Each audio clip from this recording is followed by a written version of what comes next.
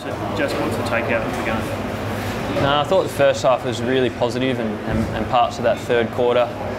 Um, we've been working a lot on our control of the game, time in possession. Um, there's probably times when we got the ball a bit further up the ground, we would like to go a bit quicker, but on the whole, I thought we controlled it quite well. It's just a couple of defensive sort of areas in the, the second half where um, we let ourselves down and probably let Shuey and Gaff run around a bit too freely. But um, you know, four points. If we fix a few of those things up, I think we, we might have come away with a win.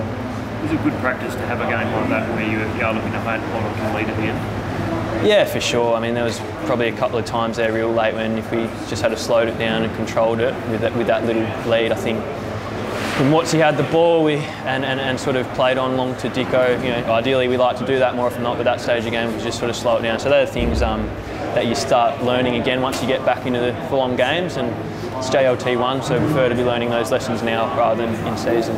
Physically, how was it to run out a game in that sort of heat?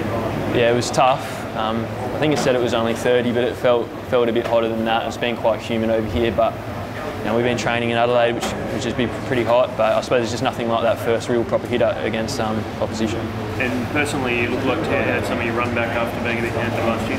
Yeah, yeah, I felt um, pretty free out there today, which is um, positive for myself. Um, uh, the body, I really got on top of a few of the issues I had last year so far, and playing a bit of a halfback and wing role, which is a bit of a change for me and me and Riley. Bonner sort of shared that today, so that, that was good.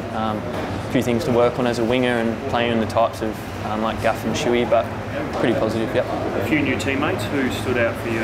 Yeah, it was. Um, I, thought Jack um, Watsy's pressure was, was really good for a big man. I mean, he'd probably like to go on a few of few goals, but that'll come. But I thought in terms of his pressure, um, that was super.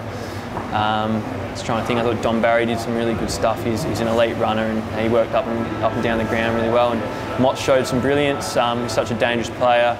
He'll finish those ones where he was running in more often than not. But um, he just adds a bit of class. So even Boof, um, Lindsay Thomas um, really applied some good forward pressure. So everyone sort of showed a bit. I thought.